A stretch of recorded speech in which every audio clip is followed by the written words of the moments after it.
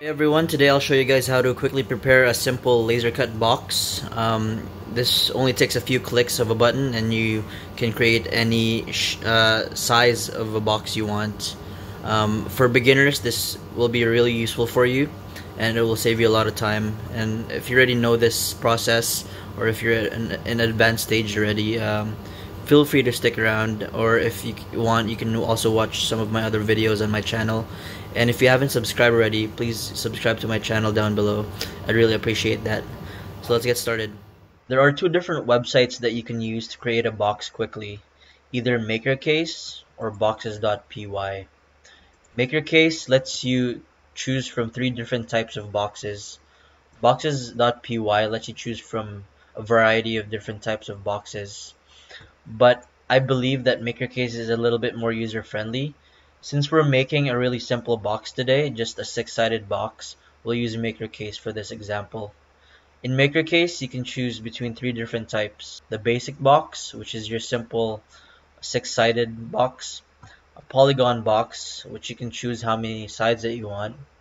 And a curved bent box, which will round off the corners of your box. You can also create a marble run generator, for 3D printing, but we won't be doing that today.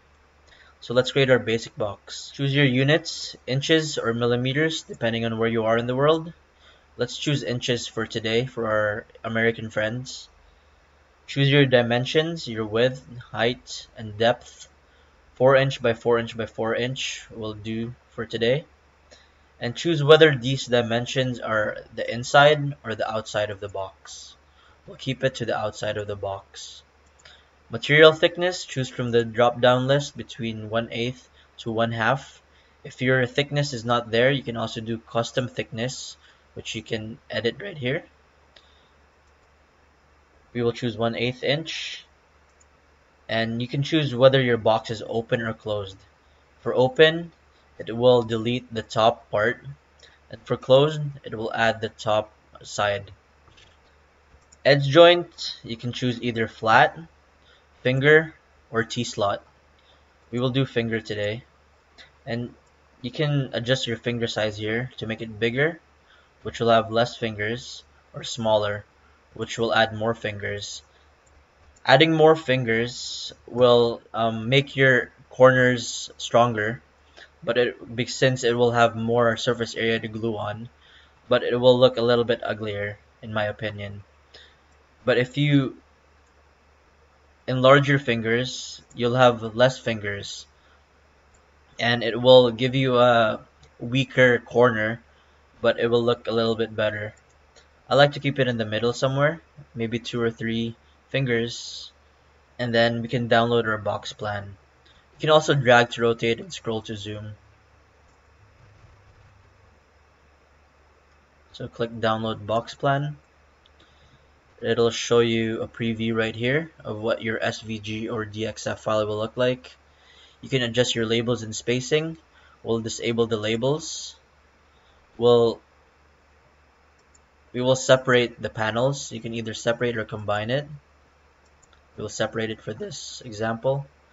You can adjust your line formatting to um, adjust your width of your line and adjust the color. And you can also adjust the curve and corner compensation I have not made a video on curve compensations yet, but basically it's to compensate for the size of your dot on your laser. For today, we'll do no curve compensation. And you can either download it as SVG or DXF. Let's download it as SVG. Save it to wherever you want to save it. Yes and then you load it into your laser cutting software such as Lightburn. Here it is. Put this in a line layer so we can cut it out. Once you put it in a line layer, you can adjust your speed and power here to whatever speed and power is that will be good for your laser depending on the thickness of your uh, material. We'll do 10 and power we will do maybe 55 okay. Once you have that you can add any design that you want in the middle of the box or any text that you want. And you can edit this box in any way you want by right clicking it and ungrouping everything so that each piece is ungrouped is on its own entity once you do that you can just highlight everything and send it off to your laser if you wanted to use boxes.py it's the same process you can choose whatever style of box that you want and then download it as SVG or DXF file. So it's the same concept, but you have more choices here. And that's it. That's all you really need to know about making boxes really quickly. If you have any questions, just send me a DM on my Instagram or Facebook at Laser Illusions Tech or um, leave a comment down below.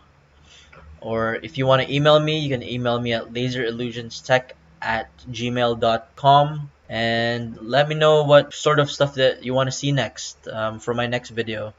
Um, thanks for watching guys and if you haven't subscribed already just please uh, hit the subscribe button down below it would really mean a lot to me uh, it'll help me out to grow my channel and to keep pushing more content to you guys Thanks guys for watching and I hope you learned a lot today.